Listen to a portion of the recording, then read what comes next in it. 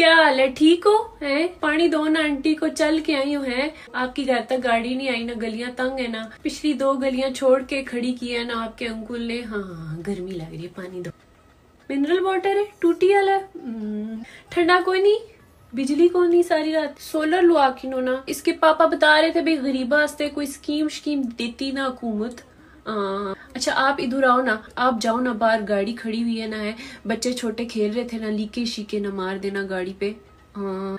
आने हुसन भाई कौन आया इनके घर में एडी वी गड्डी है ना? फॉर्चूनर कढ़ाई ना इसने अबू कल ही खैर मुबारक खैर मुबारक इसने अबू आने भाई सबसे पहले ना मैं अपनी भैन के घर जाऊँगा है खुशी नी गल सारे तू पहले ते मैं उसा दसा आने में बड़ी मुश्किल हुई है बड़ा अंदर करके आपका घर है ना आने में बड़ा मसला हुआ है कोई नहीं अल्लाह सोना देसी रोड उत्ते भी देसी कॉर्नर वाला प्लाट नहीं सी जेड़ा डीएचए वे उसके पापा ने ले लिया ना हाँ खत्म करासा तो भाई सारों ने आना ठीक है ना तुसा भी गड्डी कढ़ाई केड़ी मेरान सिटी कटाई ने मतबुल आपकी जॉब शॉप का सही हिसाब किताब चल रहा है। अब मतलब आपकी मामा गाड़ी में बैठ के आएगी मेरे घर में। सुजुकियों बसों में आती थी मेरे कलेजे को बड़ी ठंड पड़ती थी ना ए, अब ना आना बेशक मेरे घर। मैं जानी मेरी तबीयत नहीं ठीक